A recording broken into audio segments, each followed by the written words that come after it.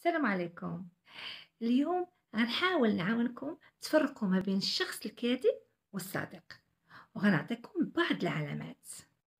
بلا شك اتفقوا معايا أن الكذب من أسوأ الصفات والكاذب هو إنسان مكروه من طرف الجميع وغير جدير بالثقة بتاتا.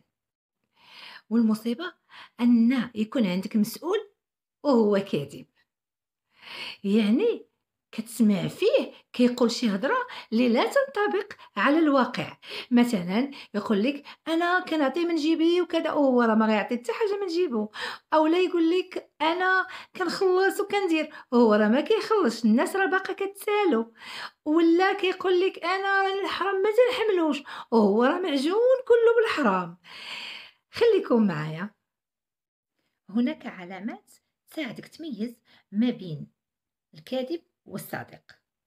اولا لاحظ مني كيكون يهضر معاك كيبدا يعمل واحد الحركات لا إرادية.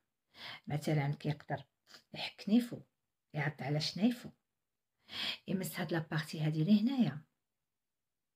بلا ما يشعر. رد بالك مرة مرة كيقيس ودنو من اللور من هنا. ثانيا وانت كتهضر معاه كيحاول يهرب بعينيه منك. ما عندوش الجرأة أنه يحط عينيه في عينيك وحتى لو أنه استعمل عينيه كيبدا يشوف هنا ويشوف هنا بواحد الطريقة غير عادية غير كيبغي يوضح للناس ويبين لك بأنه راه واثق من نفسه. ندوزو للعلامة الثالثة.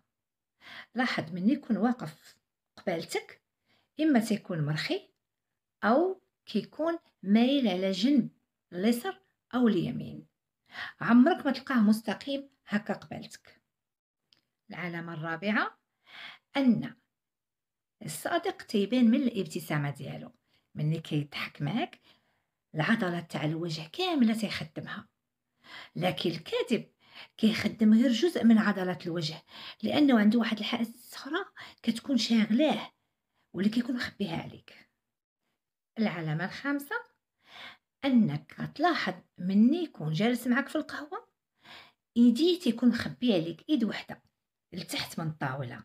وإلا كان واقف راه هو مرخي وحاط إيدو في الجيب ديالو. دائما إيد وحدة مخبية. العلامة السادسة هي أنه هو كيتكلم معاك كيستعمل حنا كنديرو حنا غنعملو ماشي أنا كنبغي أنا غندير.